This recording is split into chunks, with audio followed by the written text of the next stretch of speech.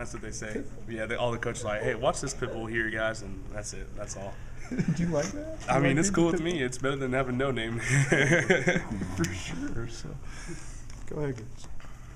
What's, uh, you grew up in Texas. What's, Yes, uh, sir. what does football mean to Texans? And uh, oh, that's that's a good question. You know, um, I, tr- I try to tell all these guys over here that it's a, it's a different kind of football over in Texas.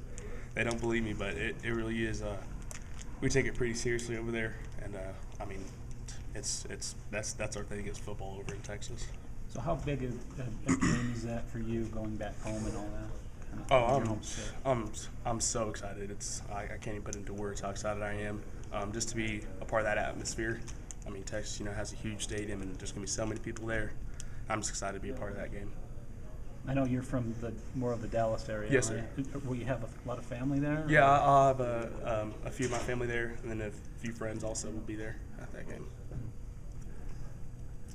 You probably answered this already, but what was it like coming in and, and earning your spot and, and playing time? And Yeah, uh, like I was telling him, um, you know, I came into fall camp, and you know, there's great offense linemen here, great offense linemen, and I was scared I wasn't even gonna, you know, be able to travel at all, even be on the depth chart. But you know, I just came in and I thought, you know, all I can do is my part, and you know, just work hard, do what I can do, and I was just able to move my way up. how would you assess the, the first game against Houston? First game, it was uh, it was fun, it was exciting. I was I was pretty nervous before, but um, it just kind of showed me that you know I can you know I can play with these guys, and I'll be able to do do well at this level. Looking back on it and looking at the film and what you guys did, is the offensive line pretty satisfied with the overall performance? Yeah, I, I'd say we're satisfied, but I say as a group, we're all ready and excited to do even better against Texas, and uh, we're, we're really excited to to prove what we can do.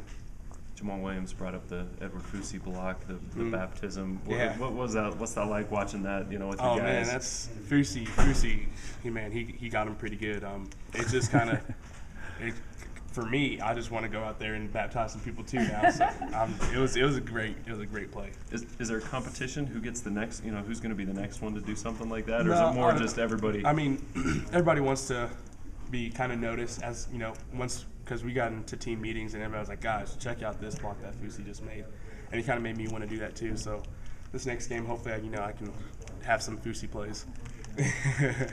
Jordan Leslie says that if you grew up in Texas, you, you, you either are a Texas fan or a Texas A&M fan. Which are you? I um growing up, I was I, I watched Texas a lot, and then I started like Texas A&M a lot more too. But um, either I mean both schools are really good schools, and they I I grew up watching both of them. Did they recruit you at all? No, they didn't. So you're a BYU fan, and you're gonna go out and show, show oh yeah, them. yes sir. Now I'm 100% BYU Texas. What the heck is that?